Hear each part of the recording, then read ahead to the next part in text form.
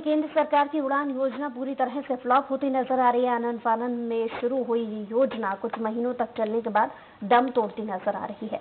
बीते 14 अक्टूबर से इसे दोबारा शुरू करने की बात सामने आई थी, लेकिन अब ये योजना ठंडे बस्ते में डाल दी गई है, जिसकी वजह से बस्ती वासियों के लिए हवाई यात्रा करना सिर्फ़ एक ख्वाब बनकर रह गया है।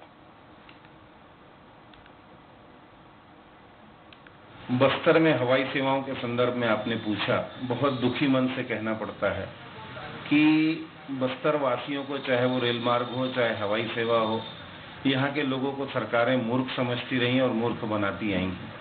और अगर हवाई सेवा स्टार्ट हो जाएगा तो हम दिल्ली, बॉम्बे, कलकत्ता, चेन्नई, वहाँ से सेवा स्टार्ट कनेक्ट हो जाएगा। अगर बड़े मेट्रो सिटी से हमारा व्यापार कनेक्ट हो जाएगा तो इससे व्यापारी को बहुत लाभ मिल सकता है। roubar